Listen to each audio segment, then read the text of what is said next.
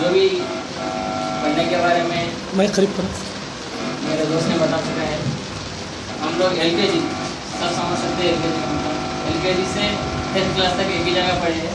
और वो भी पढ़ते वक्त क्या है तेलुगु मीडियम था हमारा। सो कभी भी हम पढ़ते वक्त दिमाग में एक ही रखते थे कि एक से आगे कभी भी आते रहेगा। तो ऐसा हुआ कि एल से फिफ्थ क्लास तक मेरा दोस्त फ़र्स्ट था और मैं सेकंड था। और बाद में सिक्स से नाइन तक मैं फ़र्स्ट था और सेकंड वो वो सेकंड था। और जो लास्ट में फैसला हुआ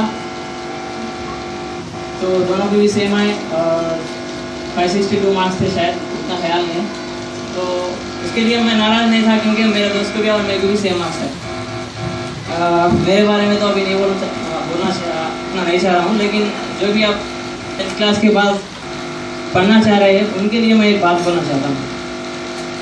पहली बात यह है कि आप जो भी पढ़ना चाह रहे हैं आपके फैसले पे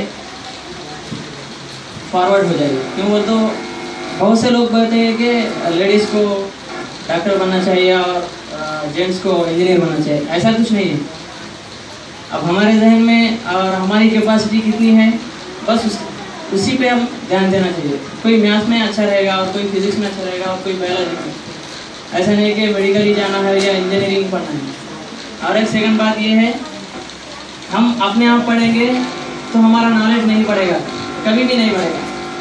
हम कभी भी पढ़ना चाहते हैं, कभी भी शुरू करते हैं पढ़ते वक्त तो नॉलेज को शेयर करना चाहिए।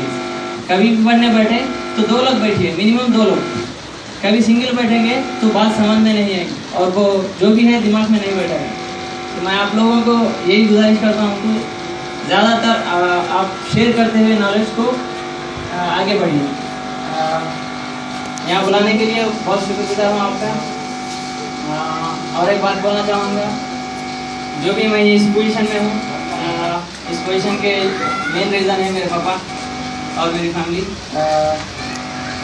उनकी मेहनत तो मैं जानता हूँ, वो सब आपके सामने पेश करना चाहता हूँ।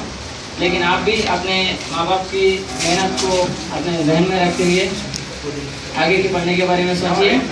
और ऐसा नहीं है कि कोई आपको रोकना चाह रहे पढ़ने के लिए। अगर आपको इंटरेस्ट है सही में तो आप किसको भी प्रोसीड मीन्स आप अप्रोच हो सकते हैं। उनको आप अपनी मन की बात बोल सकते हैं, ताकि आप ज़िंदगी में कुछ हासिल करें शुक्रिया।